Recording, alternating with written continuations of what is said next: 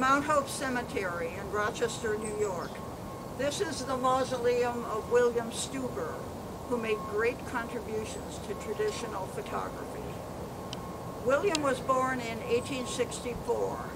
His father was one of the first photographers in Kentucky, and William inherited the business, and he went on to become a nationally recognized uh, portrait photographer. But at that time, photographers couldn't just go out and buy film in a store. They had to make their own light-sensitive materials. And William was dedicated to improving the quality of the materials he used. He heard about a scientist in Switzerland, Dr. Hugo Henry Smith, who was an expert at making uh, film emulsions, and he apprenticed with him for six months. George Eastman heard about Stuber and invited him to interview for a job with the new company Kodak, which had been incorporated only six years earlier. Stuber was so confident about receiving a job offer that he brought his whole family to Rochester on that interview trip. Eastman hired him in 1894 to be in charge of photographic emulsion making. Now, what exactly is a photography, photographic emulsion?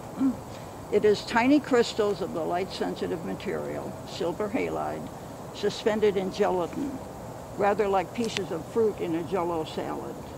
This is coated in a thin layer on a transparent support. Emulsions at that time were very hard to make reproducibly. They varied wildly from batch to batch. Gelatin used for photography was made from cow bones, and evidently there were some impurities that affected the final product. In particular, the film speed was all over the place. Film speed measures how sensitive the emulsion is to light.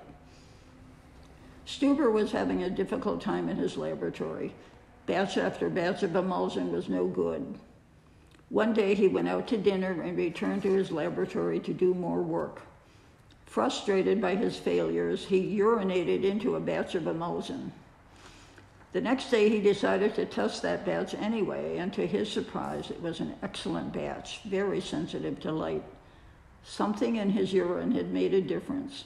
He set to work to figure out what had happened.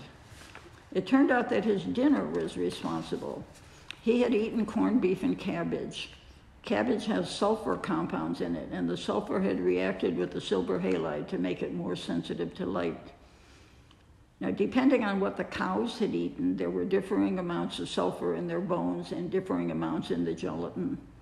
The little yellow flowers, often seen blooming in pastures, are mustard plants, which contain sulfur compounds. If cows eat a lot of this type of plant, sulfur gets incorporated into their bones. They discovered that small amounts of sulfur compounds could be added to the emulsion to improve film speed. If Stuber had eaten potatoes instead of cabbage, it would have taken much longer to make this discovery.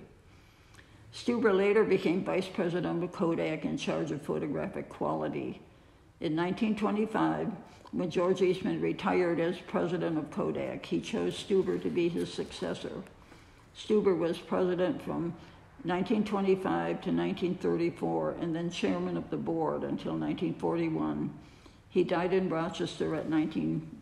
59 at age 95.